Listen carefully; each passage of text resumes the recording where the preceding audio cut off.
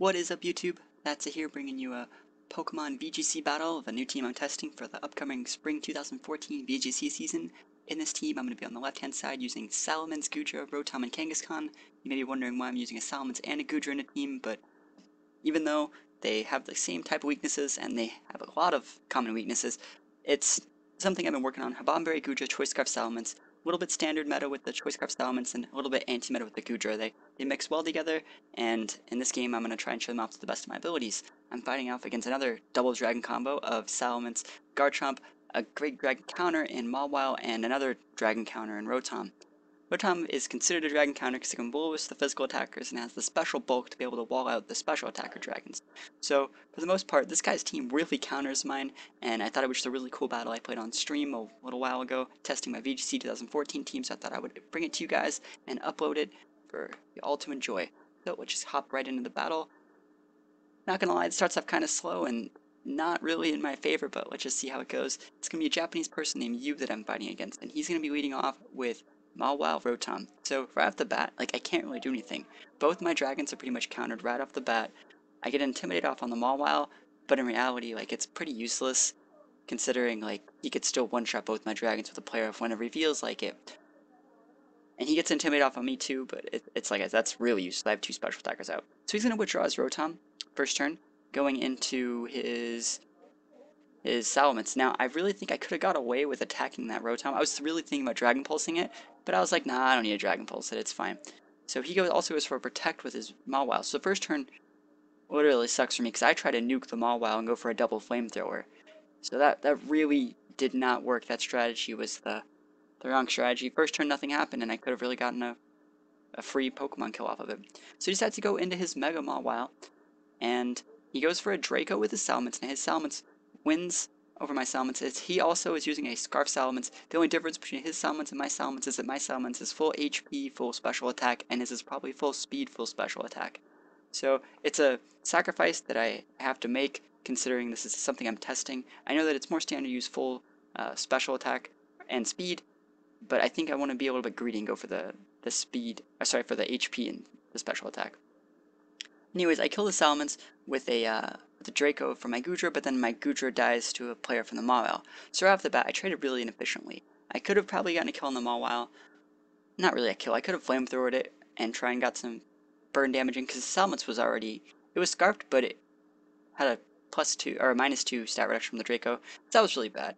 I could have probably handled that a lot better. I go to my Rotom and my Kangaskhan, my two last Pokemon. He decides to switch out his Mawile and go into his, so it chose his last Pokemon, it's going to be his Rotom again. So, I'm Mega Evolving here, but in reality, like, I'm still boned. Like, I'm double countered again. I don't really want to hit Garchomp because he probably has a Rocky Helmet and, and uh, Rough Skin, and I don't really want to hit Rotom because it won't do anything either. He decides to go for a Protect with his Garchomp, which is smart here, and I decided to go for a Power Punch, which was on originally his Mawile. So, I get the Power Punch, and this is my one, like, saving grace to get back into the game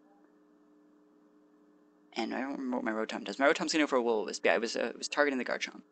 So his Garchomp starts the second turn, it's gonna Dragon Claw my Rotom, do a nice chunk of damage, assuming he's probably gonna get Will-O-Wisp anyways.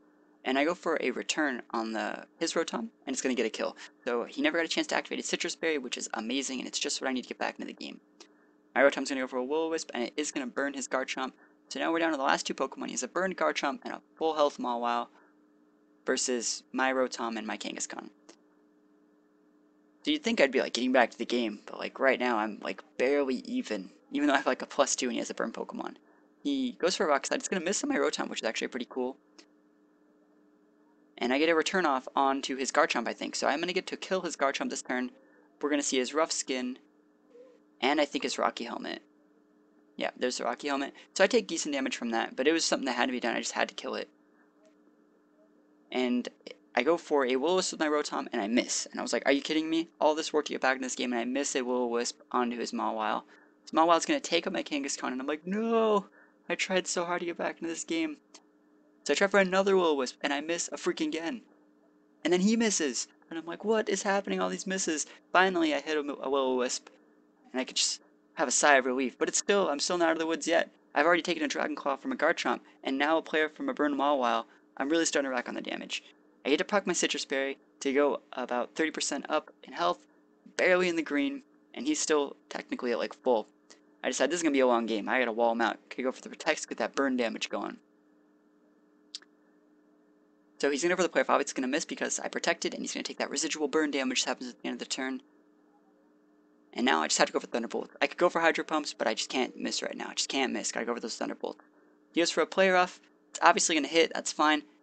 And it doesn't kill. It does about half. And knowing that the player only did that much makes me realize I probably have this. I go for Protect one last time, because if he had Swords Dance, he would have probably already used it. And like, he goes for a Sucker Punch.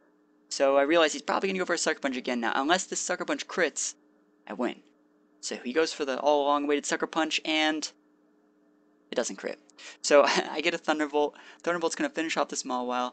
And oh man, I was so happy to win this game. I was boned every turn of the game up until my Kangaskhan got that Power Punch off. So it was a really fun battle I played a few days ago testing out my team. I still like the, the full speed, full special attack on Salamence. I don't know if I want to keep it that way, but it definitely works in most matchups. Of course, he loses mirror matchup to other Salamence and other Choice Scarf Pokemon, but for the most part, like, I'm faster than Garchomp. I'm faster than Salamence regularly. I'm faster than a lot of other Pokemon. So he's a great revenge killer, as great as well as a great lead. I don't recommend pairing him with a Goodra. But anyways, thank you guys for watching the battle. Hope you enjoyed it, and I will see you guys next time.